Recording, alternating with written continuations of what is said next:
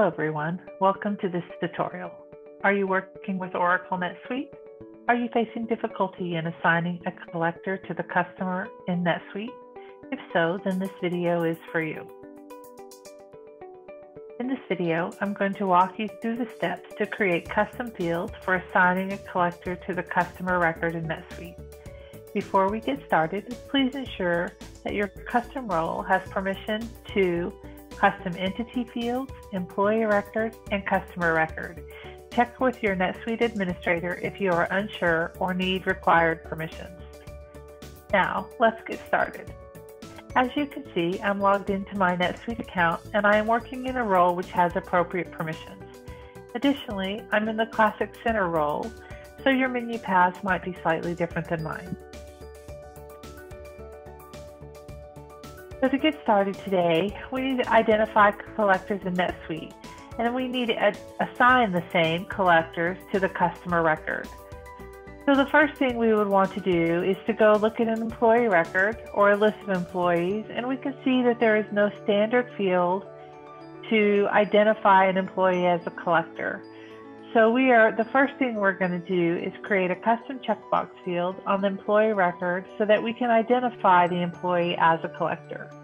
So we, to do that, we're going to navigate to customization, list records and forms, and fields, excuse me.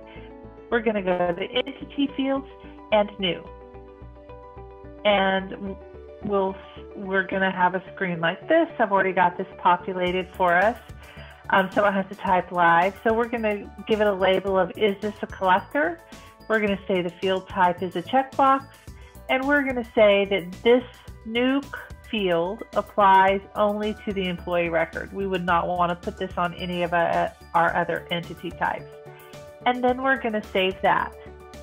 From that, from here, now we can go to the employee record and we can see that we now have a field on the employee record. I'm, here I am on an employee record, and I have a checkbox now for is collector here on the employee record. Again, you won't see this field in your NetSuite system. This is a custom field that I just created for my NetSuite account.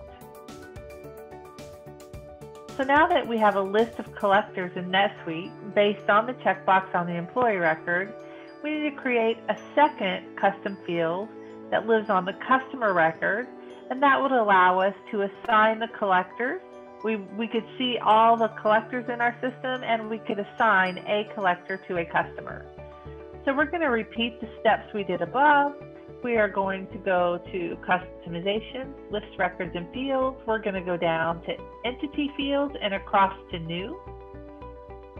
From there, we are going to, sorry, I clicked on the wrong thing there. Let me just do this. From there, we're going to go new. I've already created my field, as you can see. I'm going to give it the label of collector. This time on my type of field, I'm instead of checkbox, which I did before, we're now saying that we want to look at a list or record. Basically, this is not going to be free-form text, but we want them to pick from a list of employees. So we're going to say list record there. And then down below in this field, we're going to say we want to look at an employee at the list of employees. So we're going to select employee there. And now down here under applies to, instead of employee this time, we're going to say customer. So this field, collector, will live on the customer record only. And now I want to limit my results. I don't want to see a list of all employees. I only want to see a list of employees where I have said that the is collector is yes. So I'm going to go down here and I'm just going to replicate what I have. I'm going to scroll down in my field and I'm going to say is collector. And then I'm going to come over here and under is checked, I'm going to say yes. So I'm just duplicating here so you can see the process. Let me cancel that out. So here I'm saying this field is going to be a list field and it's going to look at the record type of an employee. It's only going to be displayed on the customer record and I'm also saying that I want to limit the results of my field to those employees where the is collector checkbox is set to true or yes.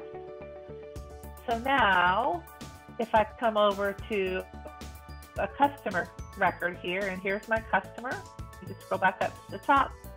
This is my customer record, and I put my field to display on the financial tab. That makes sense to me. You can display it wherever you would like. And so here are my collectors. And as you can see, I have three options of people that I have assigned as collectors. If I go back over here to my employee, and let's just look at a list of employees to see how many employees we have. We have 1,198 employees, but I've only identified three employees as collectors. So that's how that filter works. I only have three options here. So I can select the person I want to be the collector, and then once I'm done with that, then I would just save my customer record.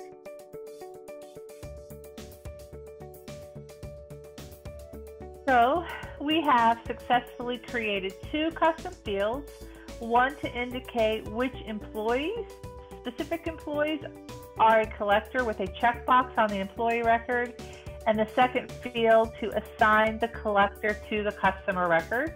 We also walked through how to check the box on the employee record as well as assigning the collector to the customer record. Please keep in mind that you can find a quick guide for any topic in NetSuite Help or in Suite Answers. For Suite Answers, you would navigate to support and then go to Suite Answers, and there you can search um, for keywords or any required topic. I hope you have followed along with the steps involved in creating custom fields and assigning a collector to a customer. Thank you for watching today. Stay tuned for more. The next video talks about customer segmentation, which involves steps to categorize customers.